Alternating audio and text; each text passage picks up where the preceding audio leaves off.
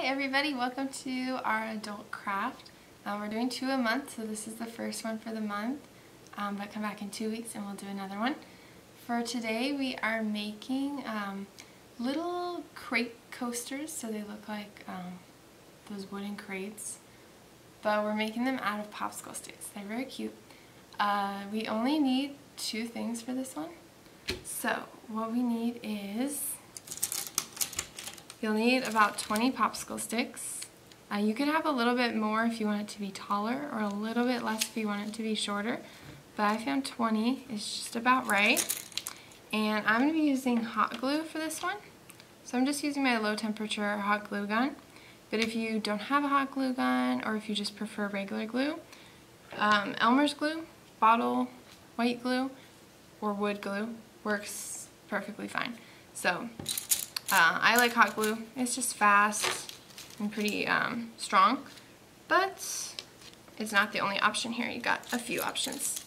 Uh, so today I'm just baking the base, the coaster, and I, I like it just in the plain wood colors.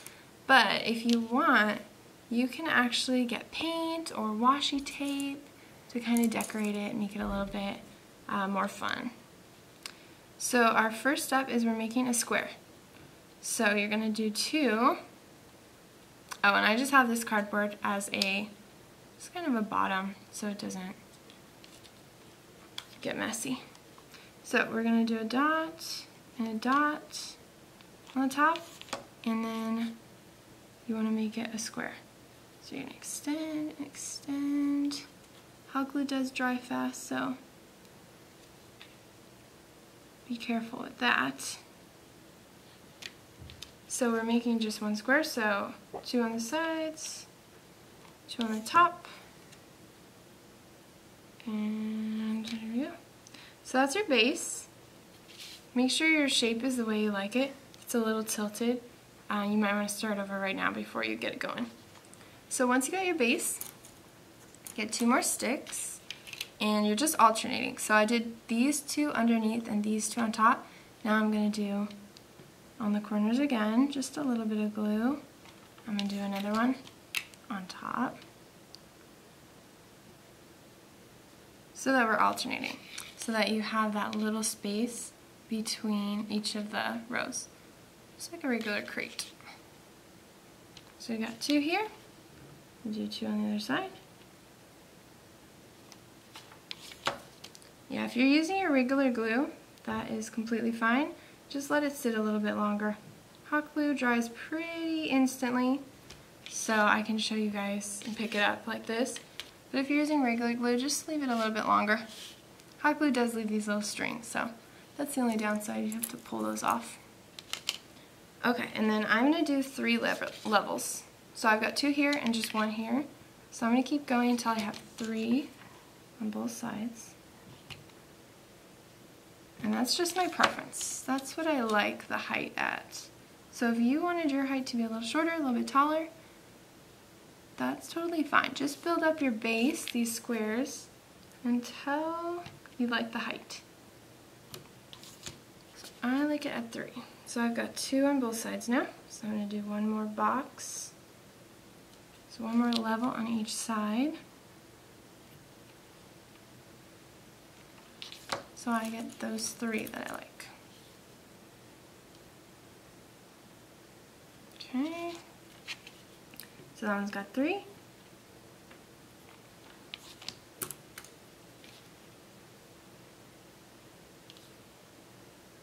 That one's got three.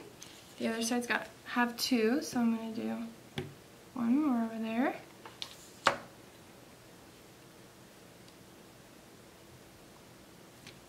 And one more down here.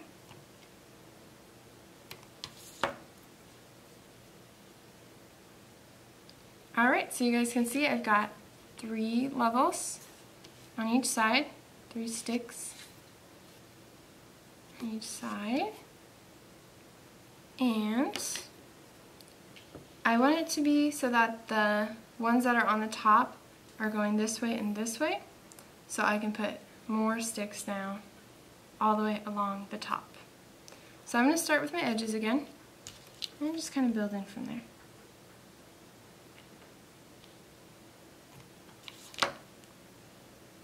So this side will end up having four levels. And I'll show you what I mean about that. Alright, so when I'm building the top, I'm going to end up with three levels on this side and this side, and four levels on the alternate sides. Because that's the top. So now I have this many sticks, and I like to leave just a little gap between them so you can see through it. And I just am going to test how long I'm going to leave that gap, or if I need an extra stick maybe so that I don't have an uneven space at the end where it's much longer than the other ones. So that actually worked out pretty well. So I just left a little gap in between each one, and I really like how it turns out. So I'm just gonna stick those on there. Hmm, I'll put it on here. So we just put a little dot of glue on each side,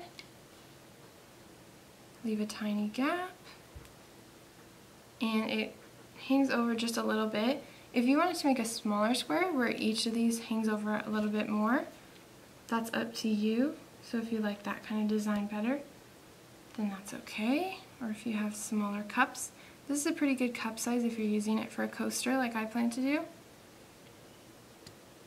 Just this full square size that you can make.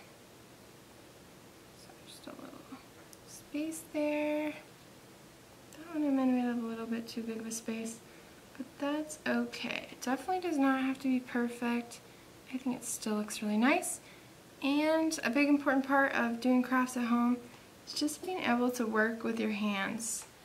I think that's important that we're able to do those kind of things. And fun too. Alright, so I'm on my last one. I tried to not make too much glue when I put it in, just a little, um, so that you can't see it too much on here. So I like this natural wood look. So here's my finished coaster. I could put a cup on top of it here, put it beside the TV. I like the wood look, but if you have washi tape at home, it would be fun to put some washi tape on your sticks before you put them on the top. Or if you have paint, you could paint it now or you could paint it before you get started. So if you like some color on it, some patterns and texture, definitely feel free to play with this. But here's your base, and you've got a nice little coaster there. Alright, thank you guys for coming to this one, and I'll see you guys next time. If you make one, um, post it in the comments so I can see it. Alright, bye.